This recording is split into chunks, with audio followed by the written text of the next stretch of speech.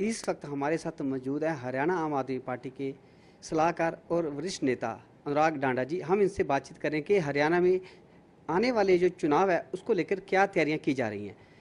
अनुराग, हमें ये बताइए सर, जिस प्रकार से हरियाणा में पंचायती चुनाव आने वाले हैं, आपकी तरफ़ से क्या तैयारियाँ की जा रही हैं? देखिए, हर एक चुनाव की तरह आम आदमी पार्टी पंचायत चुनाव के लिए भी तैयार है, पूरी तरह से ये जिला परिषद के चुनाव होने हैं, ब्लॉक समिति के होने हैं, पंचायत के होने हैं। सरकार लगातार इन चुनाव को टाल रही है। सरकार नगर निकाय के चुनाव भी बहुत समय तक उन्होंने टाले, उसके बाद उन्होंने चुनाव कराए तो दूसरे नंबर की पार्टी हम पूरे हरियाणा में बन करके उभरे। 26 फ़ीसदी वोट बीजेपी को मिला था और साढ़े दस फ़ीसदी वोट आम आदमी पार्टी को मिला था। कांग्रेस डर गई थी, कांग्रेस सिंबल पे लड़ी नहीं थी, उनको लगता था तीसरे नंबर पे चले जाएँगे। तो लोगों में इसका मतलब बीजेपी के प्रति रोष है और आम आदमी पार्टी के लिए लगाव है। आप देखिएगा, जब जिला परिषद के चुनाव होंगे, एक अलग ही रंग आपको नज़र आएगा। आम आदमी पार्टी की जो पहली पहचान बनेगी हरियाणा के अंदर, वो इन जिला परिषद चुनाव से बनेगी। गाँव में लोग हमें बहुत प्यार करते हैं।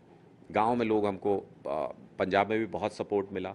हमें हरियाणा में भी उतना ही सपोर्ट हरियाणा में भी मिलेगा।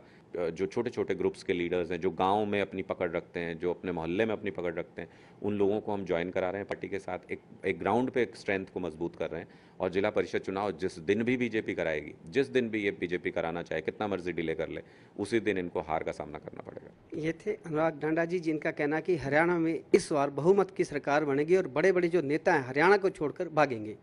Gurminder Singh M H channel Chandigarh.